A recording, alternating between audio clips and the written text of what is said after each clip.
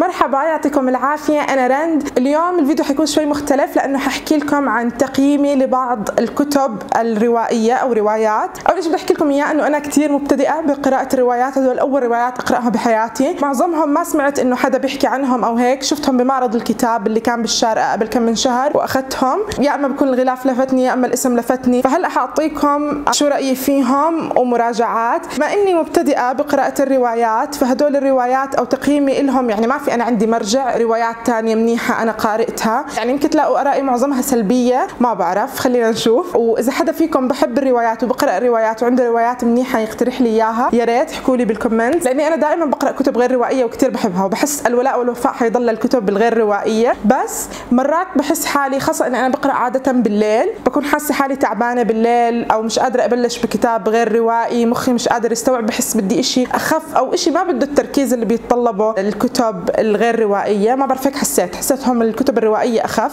يمكن الكتب اللي أنا اخترتها. فاحكوا لي شو رأيكم. وهلأ خلينا نشوف الروايات. بس قبل ما نبلش بدي اذكركم إنه تعملوا subscribe وتفعلوا زر الجرس عشان يوصلكم كل فيديو جديد بنزله. وهلأ خلونا نبلش بالفيديو. أول كتاب بدي أحكي لكم عنه ما بعرف إذا إحنا بنعتبره رواية ولا هو biography autobiography ولا ما بعرف شو. بس آه هذا الكتاب آه ما عندي إياه هلأ لأنه أعطيته لماما. ماما أخذته تقرأه فمش ملاقيته. آه الكتاب اسمه When Breath Becomes Air. معظم الناس الأجانب اللي بتابعهم على ال social media اللي بيقراوا بيحبوا الكتب معظمهم كان When Breath Becomes Air من الكتب المفضلة لهم بسنة 2017 أنا قرأت الكتاب يعني يمكن آخر أسبوع ب 2017 بالنسبة لي صراحة لا حسيته over hype أنا شفته بمعرض الكتاب بالشارقة ولفت نظري الغلاف والاسم صراحة. الاسم أكثر شيء لفت نظري وما كنت أعرف ولا شيء عنه. ولما شفت تقييمه على ال Goodreads لقيته عالي فأخذته. ولما صورت على Snapchat بعد ما رجعت معرض الكتاب صحباتي كذا حدا قال لي أوه من وين لقيتي هذا الكتاب؟ إنه زمان بندور عليه. كثير بقولوا حلو. الكتاب كثير مشهور. وكل ما أشوف حدا مثلا أتعرف على حدا وبيعرف إني بقرأ بيسألني قرأتي When Breath Becomes Air إنه الكتاب لهالدرجة الناس حابيته. رح أحكي لكم الكتاب عن شو. هو الكتاب عن واحد طبيب هو طبيب أعصاب. أظن هو طبيب أعصاب وبعدين فجأة صار هو مصاب بمرض فصار يحكي كيف إنه هو تحول من الطبيب واللي بيحكي للمرضى واللي بيخاطب المرضى واللي بيحكي لهم عن حالتهم لمريض هو بينحكى له عن حالته بيعيش معاناة المرضى اللي هو كل يوم كان يحتك فيهم. وبيحكي كيف إنه صارت هو تجربته مع الموت لما صار يقرب من الموت هو توفى بعد ما كتب الكتاب. الكتاب بالغلافه من ورا كان مكتوب إنه بيحكي عن كيف هو لما صار يعرف إنه عنده مرض عرف قيمة الحياة وهيك أكثر فأنا توقعته يكون فلسفي شوي أكثر أو حيفيدني أنا كبني آدمة أكثر يعني حسيت إنه بعد ما أقرأ الكتاب ححس أنا إنه بدي أعيش الحياة وبدي أعمل وبدي هيك. بس حسيت الكتاب هو مجرد مذكراته. من أيام ما هو كان طالب بالجامعة كل سنة عم يحكي كيف احتك هو بالموت كطالب طب وبعدين كمتدرب وبعدين كطبيب وكيف هلأ هو كمريض. يعني الكتاب حلو بس مش زي ما أنا توقعته ابدا. فمش كتير كتير عجبني وما حسيت إنه مستاهل الضجة كل اللي أخذها. حسيت إنه ممكن يكون حدا مهتم فيه طلاب الطب الأطباء ممكن يكونوا مهتمين فيه أو يحسوا إنه في علاقة بينهم بين اللي بيحكوا فيه. بس هو قراءة حلوة يعني بس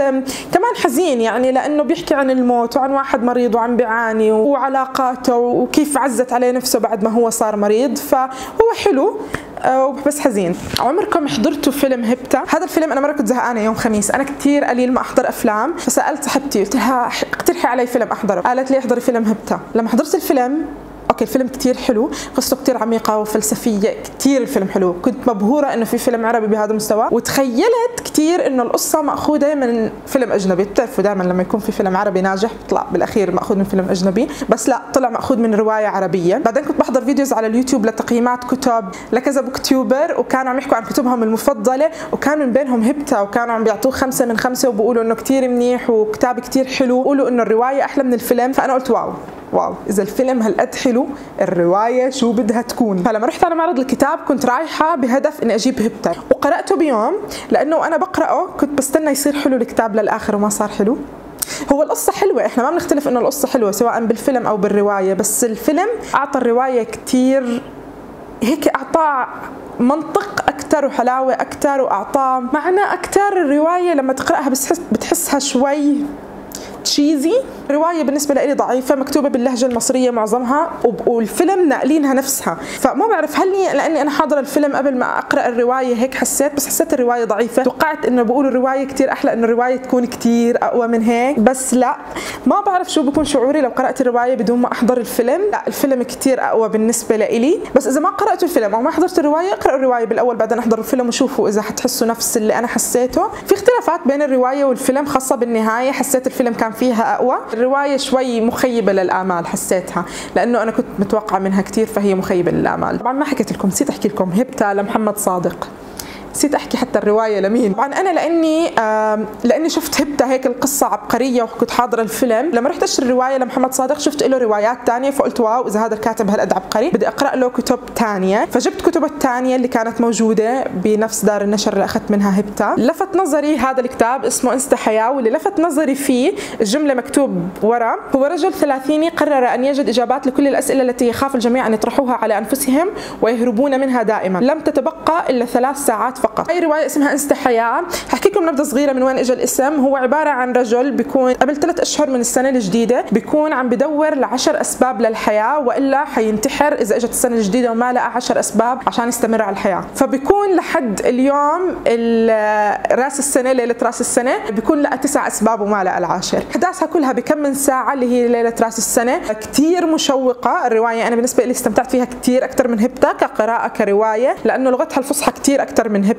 مشوقة. أنت بتحس إنك بدك تعرف شو بده يصير مع هاي الشخصية والشخصيات الثانية اللي بتظهر بالرواية. الشيء الوحيد اللي ما حبيته فيها إنه العشر أسباب اللي أو التسع أسباب اللي هو كان لقاها عشان يستمر على قيد الحياة ما عمل عليهم تركيز كثير يعني حسيت إنه أنا كنت متشوقة أعرف شو هدول العشر أسباب ولما اجى ذكرهم ذكرهم كثير على السريع. حسيت إنه لأ يعني لازم يذكرهم بتركيز أكثر حبيتها استمتعت فيها يعني حسيتها أقوى من هبته كرواية صراحة. في كمان لنفس الكاتب هاي الرواية اسمها أنت فليبدأ العبث هاي الرواية هو عبارة عن كاتب جوا الرواية يعني في كاتب روايات جوا هاي الرواية وقرر لروايته الجديدة هو كاتب ناجح قرر لروايته الجديدة إنه هو يختار أشخاص من ال fans تبعونه من المعجبين تبعونه اللي بيوثقوا كثير فيه وبيحبوا كتاباته يكتب الرواية هاي عنهم وهو يمشي حياتهم بطريقة معينة فبصير يخطط الأمور بيناتهم ويمشيها بطريقة معينة. interesting صح؟ كثير مثيرة للاهتمام يعني. أول ما بتقرأ الرواية بدايتها كثير بتشدك بس ما صدقت إمتى خلصتها لأنه من النص وطلوع بتصير بتحس إنه فيها تسلط وفيها جبروت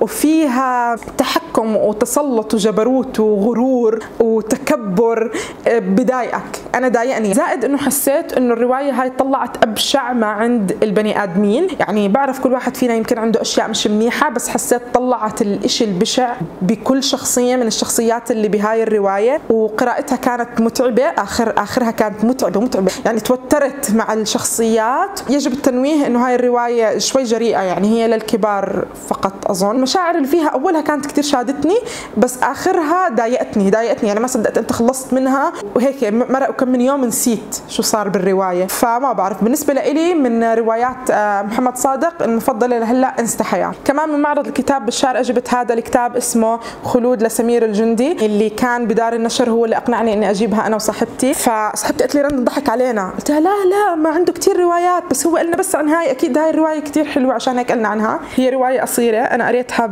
يعني بيوم. يعني خلصتها على قعدة واحدة لأنه كنت عم بستنى ألاقي شيء حلو فيها. بس ما لقيت. ما بعرف أنا كثير آسفة ما بحب أحكي شيء سلبي هالقد عن عن عن شغلة بس مين خلود هاي؟ انحكى عنها بس بيمكن ثمان صفحات بالكتاب. هي بتحكي عن شخصية تانية نسيت شو اسمه مين يمكن. كنت حتى متحمسة للكتاب لأنها مقدسية هي أحداثها معظمها بالقدس. الأحداث غير مترابطة بتبط يعني أوكي عن اسمها خلود بس هي مش عن خلود عن الثاني اللي بيحب خلود عن اللي أنت أول ما بتقرأ الرواية بدايتها بتفكر إنها أحداثها هتكون مقدسية بس لا هي ما بعرف ما حس ما ما again أنا زي ما قلت لكم أنا ما بقرأ روايات فما بعرف شو المنيح وشو المش منيح بس أنا كوحدة مبتدئة ما حسيت في إشي شدني. ما لقيت إشي فيها عجبني صراحة. أوكي اللغة منيحة يمكن بس ما بعرف ما ما ما. The Alchemist لباولو كويلو. هذا الكتاب كتير مشهور ولما حطيت على السناب شات لأصدقائي إنه أنا جبته كذا حد قال لي wow رند وكتير حلو وبجنن وكل الناس من هذا من كتبهم المفضلة والكتب الملهمة تبعتهم. بعرف يمكن في شيء غلط يا جماعة. كنت كثير نفسي أقرأه لدرجة إنه كنت محتارة. أنا الكتب اللي بتكون لا بالعربي ولا بالإنجليزي بحتار. أقرأها مترجمة للعربي ولا للانجليزي ما لقيته بالعربي يومها وخلص كان كثير بدي أجيبه لأنه حسيت إنه الكتاب الرهيب. فجبته بالإنجليزي إنه خلص كان كثير جعبالي أقرأه. بتعرفوا شو الكاتب متكلف جدا بأسلوبه بده إياها تكون رواية فلسفية وعميقة بالغصب. بتعرفوا على تويتر لما نشوف الاقتباسات من باولو كويلو هاي الأشياء اللي فيها حكمة كثير واعمل لها retweet أنا بحب هاي الأشياء. فأقعد أعمل لهم retweet حسيت إنه كلهم جايبهم من هذا الكتاب بس بتحسها بالكتاب out of place يعني بتحسها مدحوشه بالكتاب بالغصب.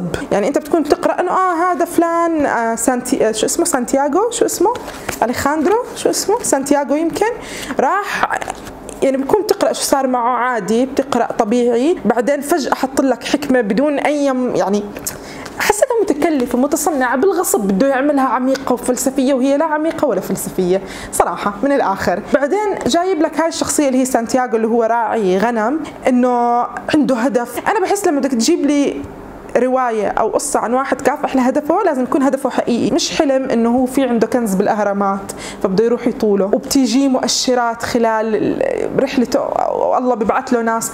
ما بعرف يعني حسيت إنه مش ظابطة مش ظابطة. كل تركيبتها مش ظابطة. يمكن كثير ناس تزعل مني لأنه هذا كتاب مفضل عند كثير ناس. بالنسبة لي كثير مخيب للآمال لأنه